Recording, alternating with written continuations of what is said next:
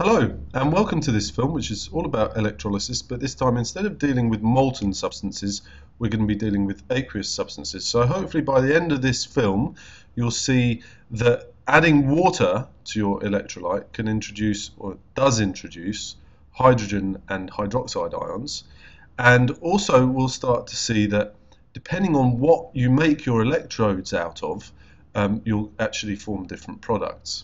Okay, and what we'll need to be able to do is to use the observations that we make during electrolysis to decide what reactions have taken place and write half equations, right? So rather than predicting what reactions will take place and saying what you will see, which would actually be quite a lot harder, um, all you've got to do is to take the observations that you make and explain them.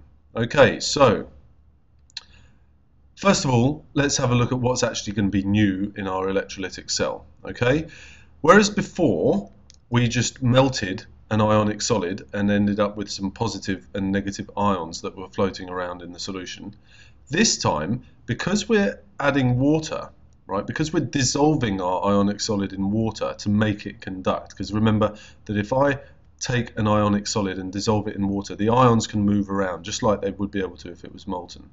Okay, we need to remember that water is something called a weak electrolyte. That is to say, it breaks up into ions, but its ionization isn't complete. Not many molecules do this. But as soon as you add water here, you are going to be introducing these two ions to your electrolyte. You're going to have hydrogen ions and you're going to have hydroxide ions. So now in addition to these positive and negative ions, you're also going to have H plus ions and you're going to have OH minus ions. And these act just like the other ions in that the negatives go to the positive electrode and the positives will go to the negative electrode. Okay, so deciding which of these two positive ions is going to gain electrons and be reduced is quite a difficult thing to do. But if you know what has been formed, or if you can use the observations made at this electrode to decide what has been formed, then you can decide which of those ions has been reduced. Likewise, it's not a simple thing based on year 11 knowledge to decide whether your negative ion or your hydroxide ion is going to lose electrons at the positive electrode okay but we don't have to do that we just have to look at the observations and decide which one of them has done so Okay, now how we're going to do that will become clear over the next couple of slides. Um, but for now, let's just also mention that the other thing that is new or different here is that the electrodes that we're using, what they're made of will actually influence what products will form when we do the electrolysis. And again, you don't have to predict what products will form based on the electrodes that you've used, but you do have to look at the results of your experiment and decide what products have formed. Okay, so it's not the really difficult type of problem based on year 11 material. It's not the really difficult type of problem that says, right, okay, if I use these electrodes and this solution, what would I form? Okay, in year 11 we just have to say, right, these are the observations we made. What products must we have made and what were the reactions occurring? Okay, as before, oxidation will still be happening at the anode, that's always true, and reduction will always be happening at the cathode. Okay, so that hasn't changed. Right, moving on. Let's have a look at an actual example of this, right? Now, as I've just said, the choice of electrodes is important, okay?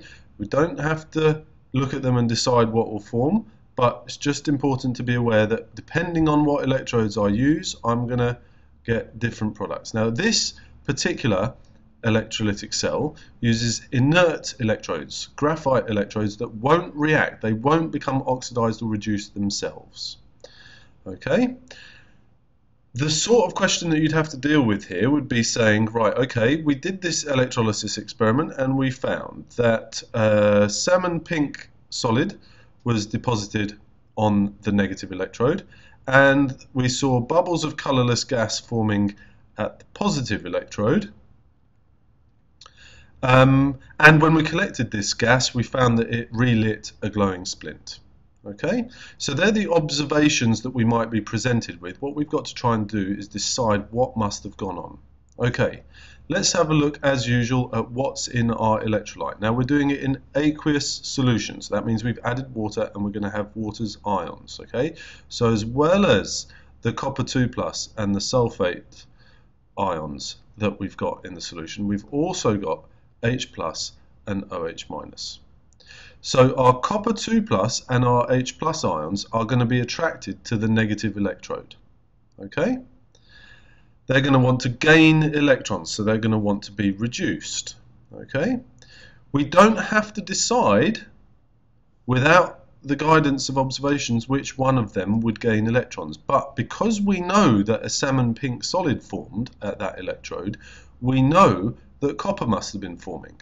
Okay, because if hydrogen had gained electrons, we'd have got bubbles of hydrogen gas, which is colorless. Okay, so we'd have had bubbles of a colorless gas. But we know that we got a salmon pink solid forming, so we know that the copper ions must have been gaining electrons. I'm not going to spend too much time on the half equations now because we should be quite good at this by now. So the half equation at the cathode, or the reduction that took place, must have been copper ions gaining electrons and turning into copper, and that explains our salmon pink solid. Now, at the anode, where oxidation happens, right, we produced bubbles of a colourless gas that relit a glowing splint. This gas is oxygen, okay? As soon as we know that this gas relights a glowing splint, we know we've got oxygen. So oxygen must have formed. Okay, now oxygen can't form from a sulfate ion. And in fact, if you look up on your data sheet, you'll see that there is this half equation with 4OH minus turning into 2H2O and O2 and 4 electrons. Okay, so you could combine these two half equations to make an overall equation. I'm not going to do that here. I'm just going to take it for granted that we know how to do that by now. Okay, but by using this observation, we decided that oxygen formed, and therefore the sulfate ion wasn't losing electrons, but the hydroxide ion was giving up electrons and forming oxygen. And this half equation, I wouldn't have to be able to figure that one out because it's on my data sheet. I just go ahead and look it up. Okay, now same electrolyte, aqueous copper sulfate, so same ions present, copper 2 plus and SO4 2 minus and um, H plus and OH minus from the water. Okay, but this time I'm using copper electrodes. Now copper itself can react in a redox equation. Copper can lose electrons. Okay, and if copper loses electrons, it's going to become a copper 2 plus ion, and it's going to give up those two electrons. Okay, this is an oxidation process. So as well as potentially our sulfate ion or our hydroxide ion losing, electron, losing electrons at the anode, we could also have copper losing electrons at the anode. Reduction at the cathode, we've got two possible ions that might like to gain electrons, copper 2 plus and hydrogen. Okay. Now, what observations do we make when we do this experiment? Okay, so now, again, don't have to predict what would I make if this was the experiment. We just have to say, right, okay, let's read the question carefully and see what we've found out, okay? At the negative electrode, we find that we get a salmon pink solid forming on the electrode. Okay, and the electrode gains mass. Okay, but what we find is at the positive electrode that there's a kind of gradual dissolving of this electrode and that it's losing mass. No bubbles of colourless gas forming this time. Okay, so hydrogen isn't forming and oxygen isn't forming. Okay, what could be happening at the negative electrode? Well, the negative electrode attracts positive ions, and we've got a salmon pink solid forming. So copper ions are gaining electrons, that's a reduction process, copper 2 plus, plus 2 electrons turning into copper. So I've used the fact that I know a salmon pink solid formed, decided that copper must have been made. What could it have been made from? Something that gained electrons from this negative electrode, that could be a copper ion. So there's the half equation for that. Oxidation at the anode. What could have lost electrons that would have caused this electrode to seem to lose mass or to dissolve? Well, the electrode's made of copper. So if the copper was turning into copper ions and giving up electrons, that would explain why the copper is dissolving because it's turning into aqueous ions.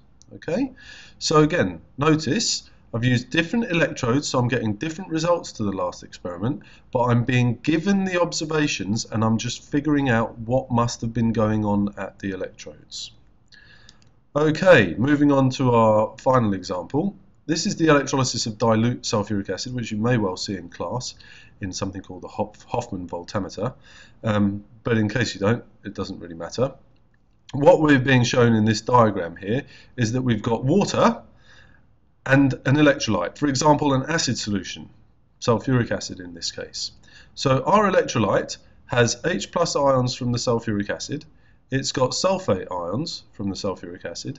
It's got H plus ions from the water and it's got OH minus ions from the uh, water as well. Sorry. Right, now as usual, oxidation at the anode, reduction at the cathode. What might have been going on?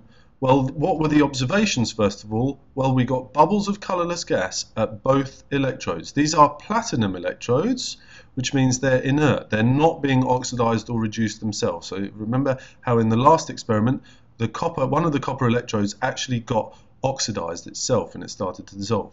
Platinum is an inert, unreactive material that won't get reduced or oxidized okay? And if we did it with a different if we use different materials for these electrodes we'd get different results. But we're not worried about that because the results are what they were okay? We got bubbles of colorless gas at both electrodes. We actually found that there was twice as much gas forming in this as in this tube okay? Um, we might be told, in, in, case we weren't actually shown on the diagram that these were hydrogen and oxygen, that this gas burnt with a squeaky pop and that this one relit a glowing splint. So what might have been going on? Positive electrode, that is the one that attracts negative ions. They're the ones that like to lose electrons, so it is the anode. Okay, Which ions might come here and lose electrons? Well, sulfate or hydroxide we know that we had a bubble, we had bubbles of a colourless gas that relit a glowing splint, so oxygen must have formed.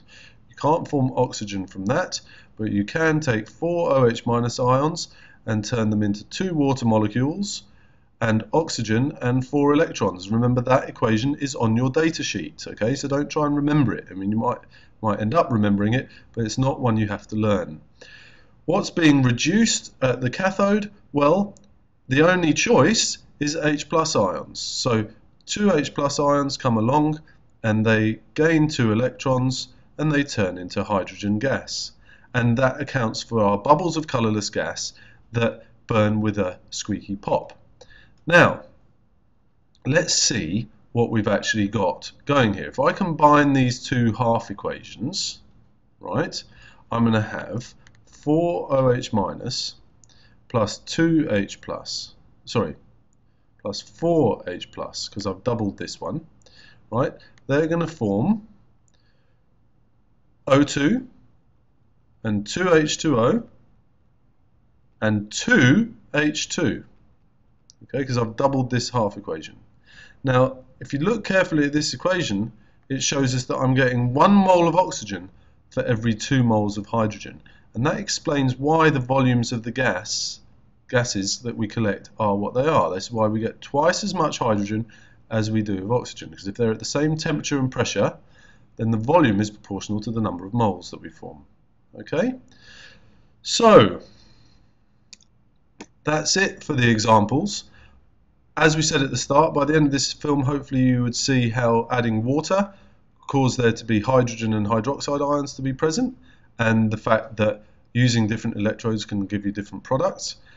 What we've been practicing is actually looking at observations we've been given in a question and using those observations to decide what products must have been formed and then writing half equations to show how those products formed from the electrolytes that we had, or indeed, in some cases, from the electrodes that we used. Quite a lot more difficult, I suppose, than the electrolysis, electrolysis of molten substances, because there's a lot more stuff to consider. please feel free to come and ask me some questions if any of it didn't make any sense. And if you want to post some comments on YouTube, that would be absolutely fantastic because, as usual, people can then see the answers to your questions when they watch the films.